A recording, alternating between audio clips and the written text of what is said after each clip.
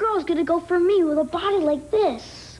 Hang in there, Tom. I'm you two years from now, because you're drinking milk and working out. Well, I'm not changing so far. But milk's at work inside you. Oh, yeah? And tomorrow the difference can show.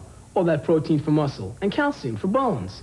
But I'm still a skinny bench warmer. Hey, if the sight of yourself at 18 doesn't convince you, Tom, listen to your senior year girlfriend. Hi, Tom. I'm waiting. Milk. It does a body good.